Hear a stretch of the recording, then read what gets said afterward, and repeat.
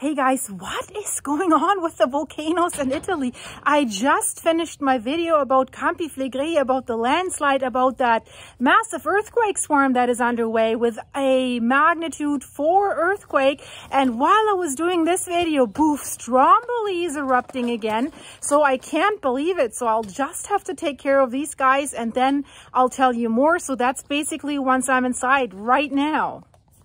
So Stromboli, that is basically an island and the whole island is a volcano and there is some settlements, roughly 4,800 people, but in the summer it's occupied by more people, roughly 1,500 people at a time, because there's tourists on the island. And Stromboli has been acting up the recent weeks, like one explosion after the other, and all like that they said something they have never seen before. And what just happened at Stromboli is something like that again. So it was a mega explosion, how they call it, a large explosion that did send down glowing lava and ash several hundred meters above the summit. So a big, big ash cloud again. The whole thing happened at night this time, but what they definitely can say, because they also have the thermal images, it is a larger than average explosion again on Stromboli. There's already good documentation and information out there, and I will go through that with you guys and I'll also show you the video of what happened because it's very, very impressive. So what does the INGV report. INGV, the Italian Institute of Geophysics and Volcanology, they are the ones that are monitoring Stromboli and they have their seismic instruments there that are probably damaged again right now. I can show you pictures how they looked after the last event at Stromboli. They were covered in mud. The solar panels were cracked. Rocks hit the solar panels. So these explosions that are happening, they're sending out a lot of debris and rocks that are so fast and that if they hit you, they can be really, really devastating. One guy lost his life in 2019 when he was climbing up on the crater and then an explosion like this happened. So what are they saying? Um, Italian local time at 7.46 p.m.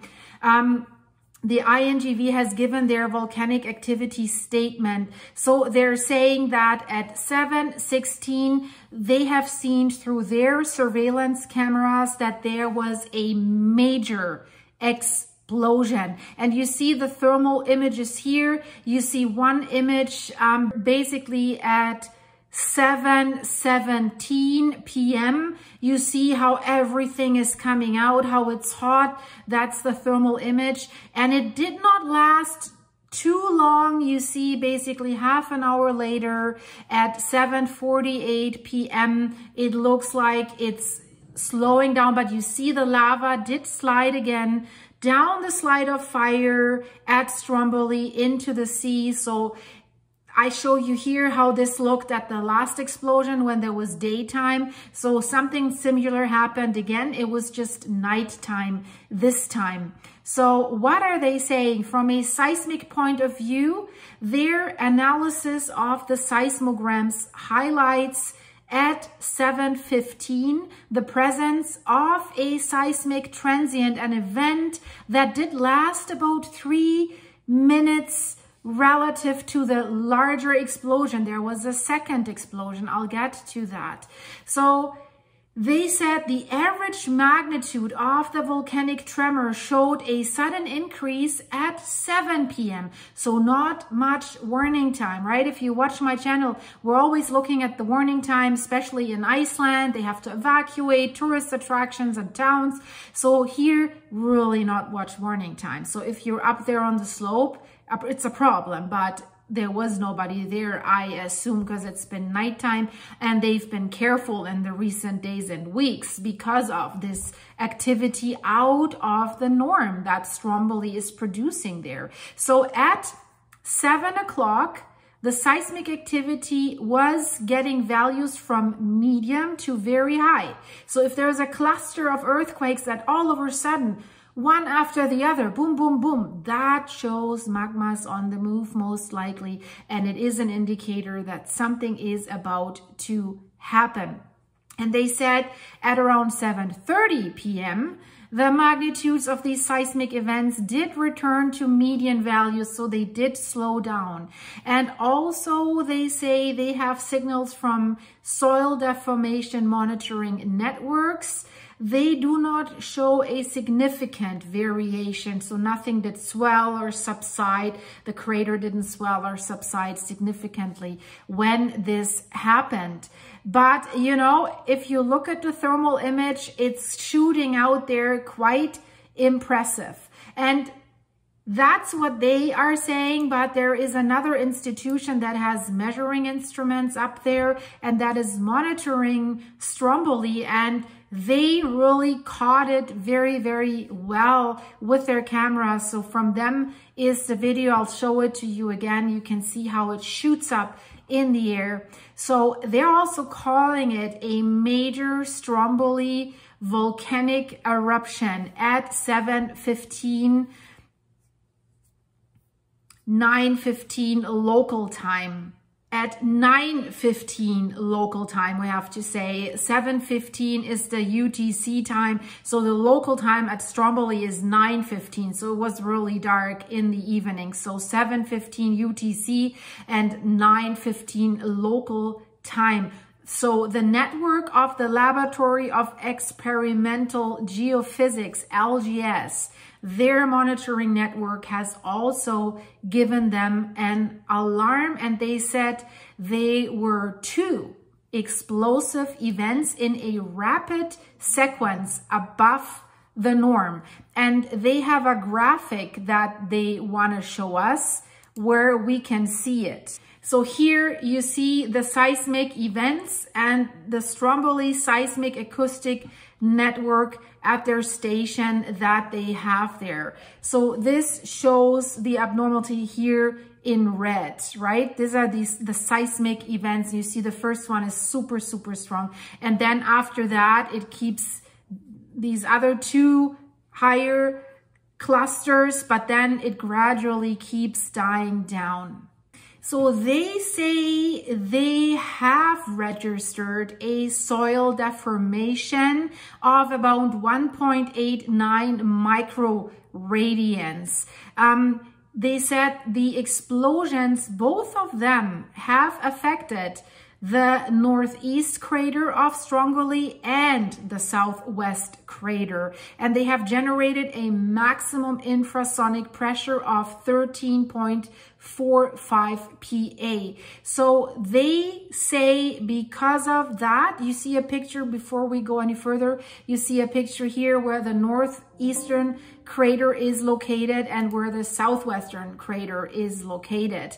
And then because of these data that they have gathered, they can say this event is compatible with a major explosive event. And they have this interesting graph here that basically shows you what is considered a major event. So we went through that in my last video. But what is a tilt amplitude that you see on the left side? You need to know about that figure so to enable to understand what they're trying to tell us with this figure. So the tilt amplitude of a volcano refers to the measure of ground deformation around a volcano, indicating the angle or degree of tilt of the ground surface. So this is typically um, measured by using highly sensitive instruments. They're called tilt meters. So they detect minute changes in the slope of the ground. So they had these measuring instruments. That's why they were able to do that. The tilt amplitude provides critical information about volcanic activity, guys, because it often these swellings, these rises reflects the movement of magma underneath, beneath the surface. So if there is something, if there's a land rise or something, we know that magma is trying to rise to the surface. So the tilt amplitude, and that's what you see here in this graph, quantifies how much the ground has tilted, and it's typically measured in microradians. For example, a tilt amplitude of 10 microradians means the ground has tilted 10 micrometers per meter of horizontal distance. It is an indication of magma movement. So if we have an increasing tilt amplitude, it often indicates that the magma is moving towards the surface, causing the ground to swell and tilt. So this is most likely a precursor to a potential eruption. So that's why with critical volcanoes, they have to measure the tilt amplitude so that they maybe have a slight chance to predict potential eruptions and of course the risk for the areas that surround these volcanoes.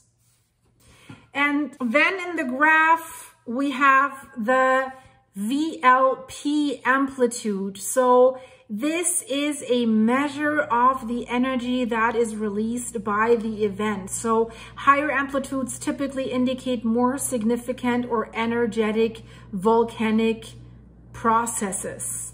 So now if you look at the red dots in this graph, you can see the number 2019. That was the violent eruption where the hiker sadly lost his life. And then while they kind of mixed this so that we can hardly see it. So July 11th, that when we had another one of these events, and now we have two more of these events, basically July 26th. So you see the yellow star, that's where the event that happened today is located. So it's not in the red area where we had the other July um, explosions, but it is in the higher area that's for sure. So it's above the norm. The norm would be all the gray stuff basically.